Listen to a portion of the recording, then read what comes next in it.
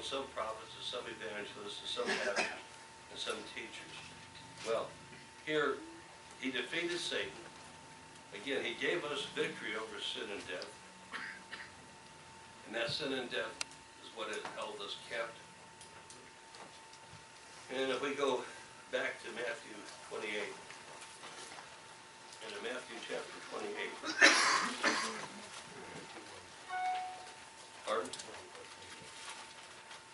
And in the end of the Sabbath, as it began to dawn the first day of the week, came Mary Magdalene and the other Mary to see the sepulchre. Now, again, we're gonna take, a you're gonna take a look at two things here, two different accounts of this. And behold, there was a great earthquake, for the angel of the Lord descended from heaven and came down and rolled back the stone from the door that's- and set upon it. And his countenance was like lightning, and his raiment was as snow. And the fear of him, the keepers did shake and became as dead men. Well, now here's the interesting thing. First of all, he rolled away the stone to show that the, the tomb was empty. Now, the question was, was this angel Christophany?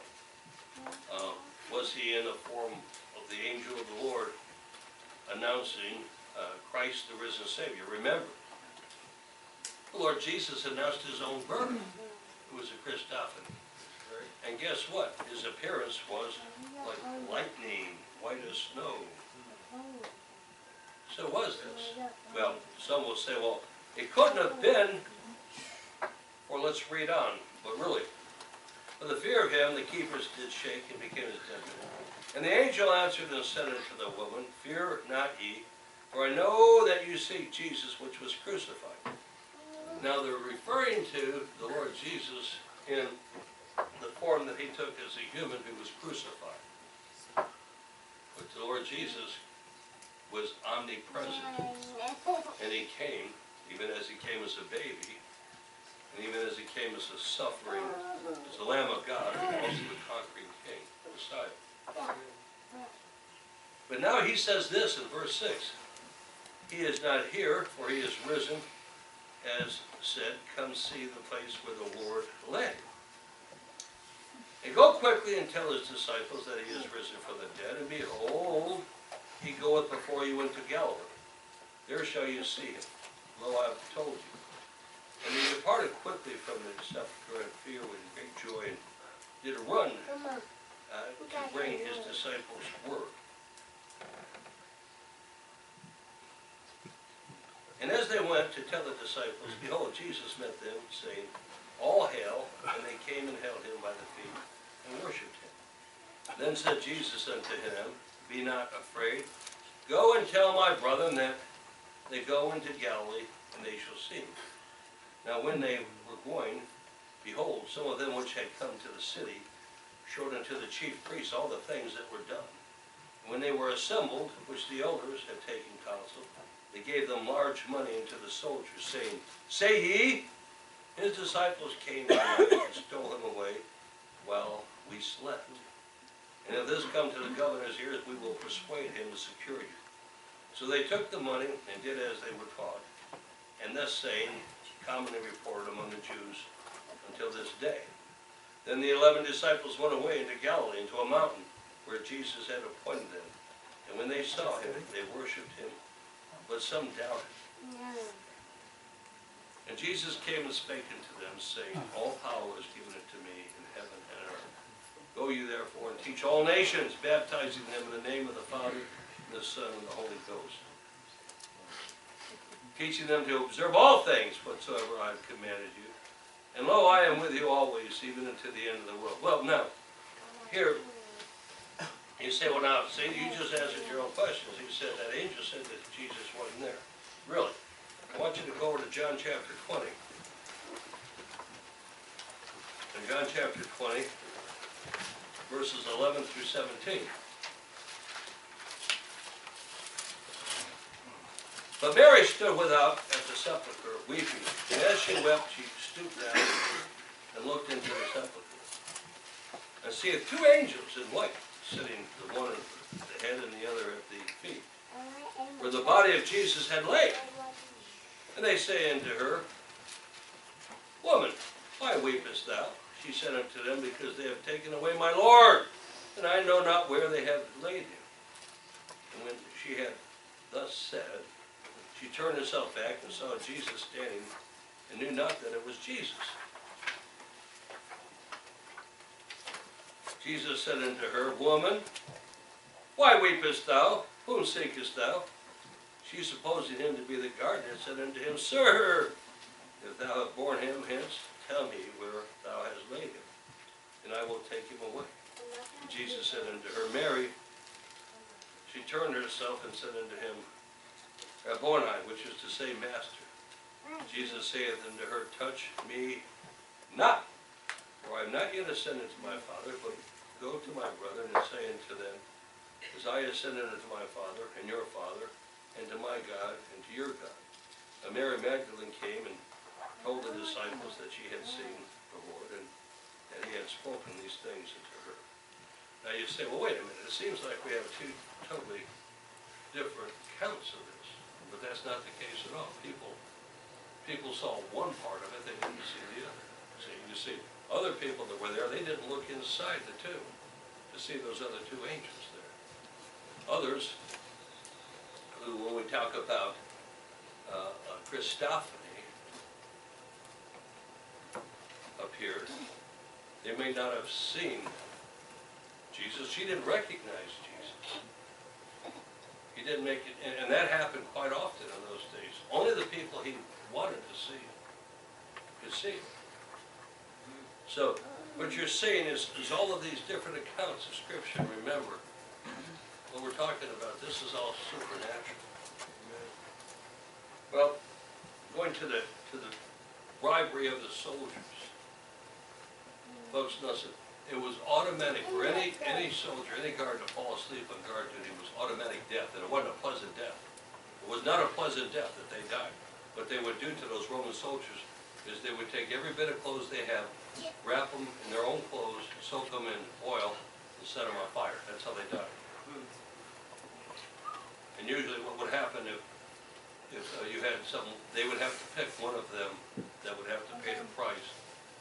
If there was several of them that say fell asleep on guard duty. It was a, so what happened here? Well, first of all, the last thing the Pilate needed was another scandal. And so what happened? Well, these corrupted rabbis more than likely went to him and said, look, just, you know, uh, let the guards, because these guards, believe me, they're not gonna say that unless they got assurance that they're not going to, to end up with a death penalty. And they, they lied.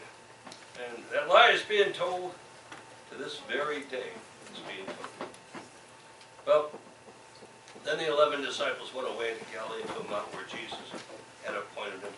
When they saw him, they worshipped, but some doubted. You know, Thomas is still doubted. And Jesus came and spake unto them, saying, All power is given unto me in heaven and earth. Go you therefore and teach all nations, just the things you can do in the comfort zone. Nah, you see, that's, that's basically what you're being taught today, most of these. You know, uh, what I have, to show you the compromise that's being done, here, this is the state leg, Iowa state legislature. They're going to have their very first wicked witch open their state, legislature prayer. Okay, a wicked witch. Now, also, we're seeing today, for example, what they're doing with them, they're making, they're writing Bibles now that are Muslim friendly. And let me just read you a little bit here. Uh, For example, the verse which, which Christians use to justify going all over the world to make disciples, thus fulfilling the Great Commission, which we're reading right here. They change it. Here's what, what, the, the way that they've changed this new Bible. And, uh, it says this. Cleanse them by water in the name of Allah, His Messiah and His Holy Spirit, instead of baptizing them in the name of the Father, the Son, and the Holy Spirit. And it's just unbelievable what is, is taking place, but these are, these are by, uh, known in the past, they had credible Bible uh, publishers to publish the Bible. And in fact, uh, this is by, let me see. Well, Wycliffe, by the Wycliffe Bible. And so he said, go out and, and to all nations, teach them the name of the Father, the Son, and the Holy Ghost, teaching them to, to observe all things, all things, whatsoever I have commanded you. And lo, I am with you always, even unto the end of the world, meaning the end of ever. So, we've been coming to you from Doers of the Word Baptist Church. At one forty-seven eighty-one Sperry Road in Newbury, Ohio. Our zip code, you'd like zero six five.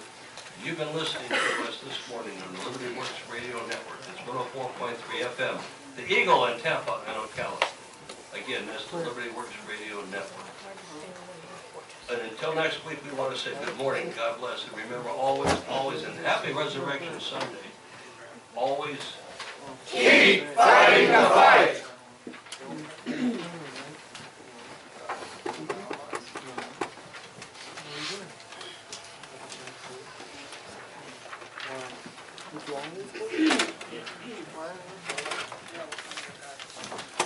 Okay, folks, nail upon Golgotha's tree. This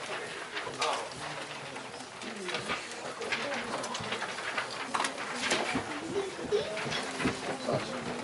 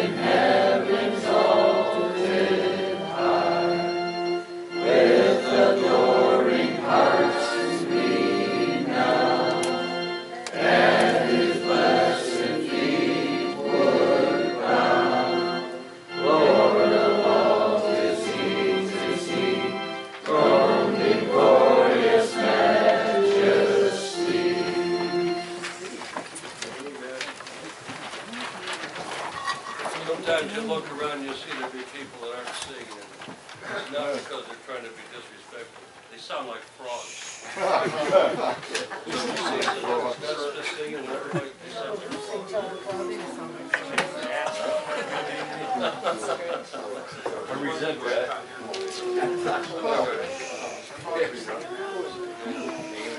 There's one day, I wish I. I had say when I had the chance. Now. Well, you know what? Gonna take the Lord's table today. So, Take the Lord's table, that was an offer. Where am I taking your pen? It's the old Catholic thread.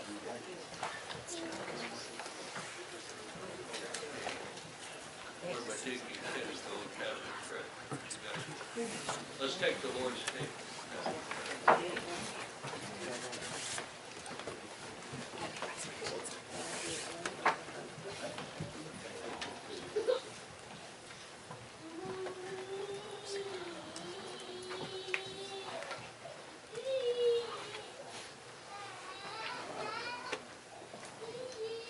When we take the Lord's table, it's- remember, you need to be saved for one thing, and baptized by immersion. Most important thing, know and confess sin. That's very, very important. I can't tell you how important.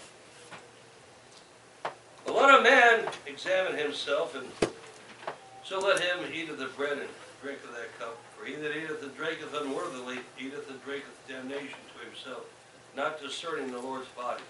For this cause many are weak and sickly among you, and many sleep. For if we would judge ourselves, we should not be judged. For I have received of the Lord that which also I delivered unto you, that the Lord Jesus, the same night in which he was betrayed, took bread. When he had given thanks, was afraid. Heavenly Father, Lord God, I just want to come before you, Lord, and ask for everybody here that there be none here with unconfessed sin. And we thank you, Lord, for the substitutionary death you hung in our place upon that cross. And there's no way, no way that we could ever, in any way, even begin to repay you for such a gift.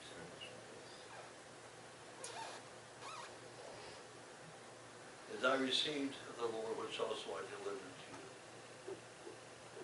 The Lord Jesus, in the same night was betrayed, took bread.